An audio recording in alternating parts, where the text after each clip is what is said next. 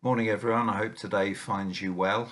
I was uh, watching the television the other evening, and David Bowie was on from Glastonbury 2000 when he headlined the uh, show there.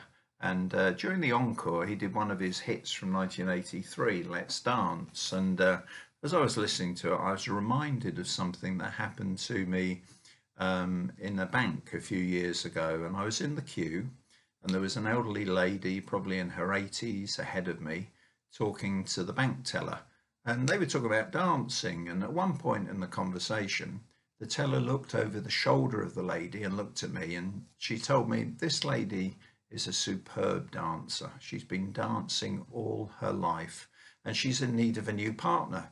And she said you look ideal looking at my height and uh, i smiled but the lady seemed to think this was a good idea and she turned round and came over to me and she put one arm here and took my hand in hers and she gently led me as we danced to the unheard rhythm of the waltz.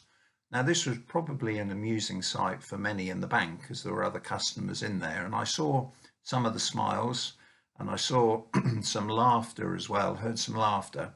Now I don't know whether that was the joy of watching an expert dancer in motion or watching a clumsy person, i.e. me, who's being led by this expert.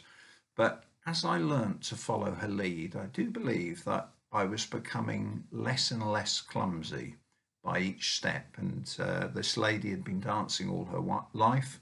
By the way she danced, she was clearly an expert in this. And it's nice to be led by an expert. It's nice to be led by a master in their field.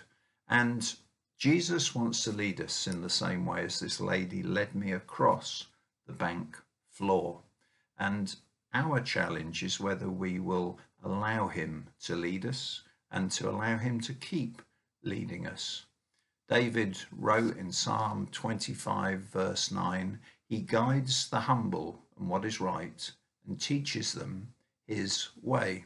And Isaiah writes, Whether you turn to the right or the left, your ears will hear a voice behind you saying, This is the way, walk in it.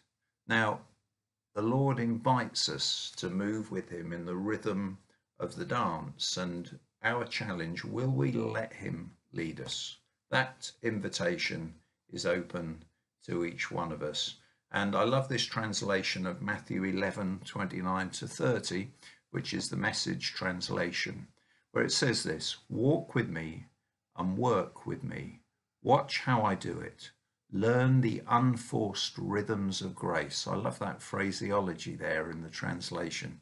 I won't lay anything heavy or ill fitting on you. Keep company with me, and you'll learn to live freely and lightly. That's wonderful verses, wonderful translation of those verses. Now, as we enter another month, as July has started and another month of lockdown, uh, let me encourage you in this very strange season to keep following Jesus, to keep seeking Him, to keep walking with Him, and to keep allowing Him to expertly lead you day by day. Let me just pray. Lord, I thank you that you lead us. I thank you that you guide us. I thank you that you invite each one of us to come and walk with you. And I thank you, Lord, that when we don't know which way to turn uh, on the path, you guide us along the path. You say, go this way, go that way. And Lord, give us the courage during this time, Lord, whatever we're facing into this week, um, to keep following you and to keep trusting you, Lord, to lead us forward. We pray these things in your precious name. Thank you, Lord Jesus. Amen. Amen. May God bless you. I hope you have a good rest of the day.